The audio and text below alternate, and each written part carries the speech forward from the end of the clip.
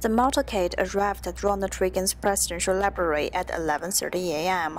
The police escorted motorcade carrying Nancy Reagan's casket to the library after a brief private service drove slowly up the Ronald Reagan freeway with national flags hanging along the way. Somber mood, uh, family members. Um, it's a very serious, quiet environment.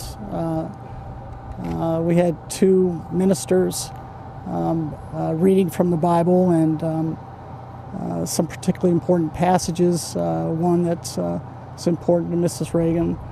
Um, the small, small audience of family and friends paying their respects, uh, but the best way I could characterize it is to say that it was very solemn, very quiet, and and sad. You know, a sad, sad situation.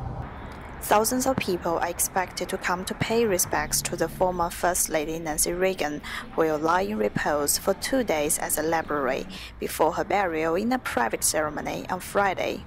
I want to pay my respects to Nancy Reagan and to um, just be a part of the um, saying goodbye and the ceremonies that are happening. I just felt very excuse me, compelled to come again.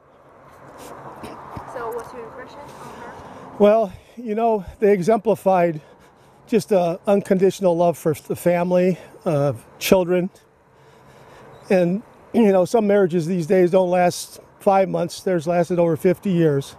That truly told something about who they were. Nancy Reagan died of congestive heart failure at the age of 94 last Sunday. A funeral, which was planned down to the details by herself, will be held on Friday. Just as she was always by his side in life, she will be laid beside her husband on the hillside tomb facing west towards the Pacific Ocean. First Lady Michelle Obama, former First Lady Hillary Clinton, Laura Bush, and Rosalynn Carter will attend the funeral.